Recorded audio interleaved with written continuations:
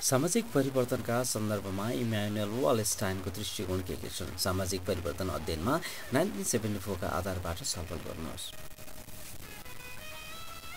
Views of Immanuel Wallerstein in the context of social change, with a reference on the study of social change 1974. विश्व व्यवस्था दृष्टिकोणका प्रतिपादक इम्यानुअल वालेस्टाइनले आफूद्वारा लिखित पुस्तक the वो modern world system capitalist agriculture and the origins of the European world economy in the 16th century 1974 को पहिलो अध्ययनमा on the study of the social change शीर्षक अन्तर्गत सामाजिक परिवर्तनका सम्बन्धमा विभिन्न दृष्टिको प्रस्तुत गरेका छन्। उनका अनुसार परिवर्तन एक अनन्त वा अविनाशी प्रक्रिया हो। अर्कोतर्फ परिवर्तन नहुने त्यस्तो कुनै प्रक्रिया वा संरचना नै हुँदैन। यी दुवै तथ्य परिवर्तनका सन्दर्भमा सत्य हुन्छन्। मानव सम्बन्धसँग प्रमुख रूपले जोडिने संरचना केही लामो समयसम्म कायम रहन्छन्। तर समय सापेक्ष नयाँ नयाँ संरचनाको सिर्जना विकास र नष्ट हुने प्रक्रिया जारी रहन्छ। वलिस्टाइनका अनुसार जबसम्म सामाजिक परिवर्तन अध्ययनलाई सामाजिक विज्ञानको समग्र रूपमा समानार्थी रूपले प्रयोग गर्न सकिँदैन। तबसम्म सामाजिक परिवर्तन केवल लामो समयसम्म कायम रह्यो। घटना अध्ययन स्टडी अफ ड्युरेबल फेनोमेनासम्म मात्र सीमित हुन्छ। तर ऐतिहासिक समय स्थान समाजका त्यस्तै दीर्घकालीन संरचना पनि परिवर्तन हुँदै जाने गर्दछन्। तसर्थ समाजको कुन संरचना लामो समयसम्म काम रहन्छ भन्ने आधारमा सामाजिक परिवर्तनलाई परिभाषित गर्न सकिँदैन। विश्व सामाजिक विज्ञानमा सामाजिक परिवर्तनको प्रक्रियालाई दुईवटा मुख्य संरचनात्मक परिवर्तनद्वारा चित्रण गर्न सकिन्छ। पहिलो हो नवपासन वा कृषि क्रान्ति। न्युलिथिक अर एग्रिकल्चरल रेभोल्युसन र दोस्रो आधुनिक विश्व व्यवस्थाको सृजना the creation of the modern world system वालेसानी अनुसार पहिलो प्रकारको सामाजिक परिवर्तन अर्थात् नवपाषण वा कृषि क्रान्ति समाजशास्त्रीले त्यति धेरै महत्त्व दिएको क्षेत्र होइन। बरु विश्व व्यवस्थाको सिर्जना र त्यस सम्बन्धी अध्ययन सामाजिक परिवर्तनका सन्दर्भमा बढी महत्त्व दिने क्षेत्र हो।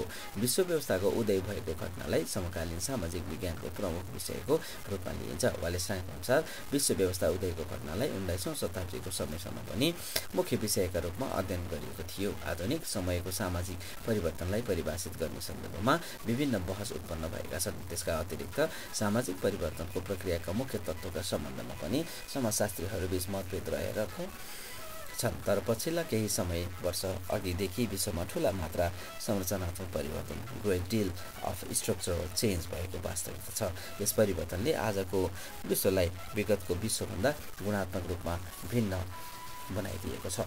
वालेस्टाइनको आजको विश्वलाई विगतको विश्वभन्दा भिन्न तुल्याउने परिवर्तन अध्ययनका लागि विश्लेषणको एकाइ युनिट अफ एनालाइसिस पहिचान गर्नुपर्ने समेत अपनाएका छन्। यसका लागि आधुनिक विश्वमा सामाजिक परिवर्तनका विविध प्रक्रिया विश्लेषण गरिनु आवश्यक हुने उनको तर्क रहेको छ। राजनैतिक द्वन्द्व पोलिटिक कन्फ्लिक्ट आधुनिक विश्वमा सामाजिक परिवर्तनको मुख्य आधार हो। तर वालेस्टाइनले राजनैतिक द्वन्द्व र परिवर्तनका दुईवटा बहसबारे चासो देखाएका छन्। पहिलो हो समग्र इतिहास र वर्ग सङ्घर्षको इतिहास। र दोस भन्ने दर्शनबाट निर्देशित परिवर्तन र दोस्रोमा समाज अन्तर्गत मुख्य सम्झौता वाका आधारमा निर्देशित परिवर्तन। वालेस्टाइनले औ औपनिवेशिक परिस्थिति कोलोनियल सिचुएसनका विशेषताहरूलाई पनि सामाजिक परिवर्तन र विश्व व्यवस्थासँग जोडेर अध्ययन गर्नुपर्ने सुझाव दिएका छन्। विश्व व्यवस्थाका केही स्थिर तत्त्वमध्ये औपनिवेशिकता पनि एउटा प्रमुख तत्त्व हो उनको तर्क रहेको छ। यसका लागि उन्नाइसौँ र बिसौँ शताब्दीको समयमा युरोपियन शक्ति राष्ट्रले विस्तार गरेको औपनिवेशतालाई विशेष ध्यान दिनुपर्छ।